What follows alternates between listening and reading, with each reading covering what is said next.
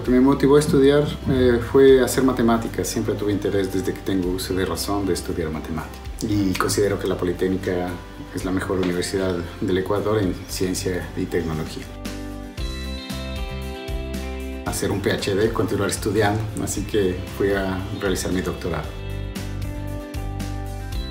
Sin duda, pero yo creo que mucho más que los conocimientos adquiridos es eh, la capacidad que le enseña a uno la Politécnica de poder resolver nuevos problemas, de aprender nuevas cosas y aprender a resolver problemas.